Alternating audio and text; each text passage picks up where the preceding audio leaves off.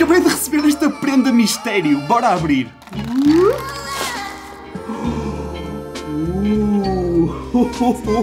Olha lá que embrulho bonito.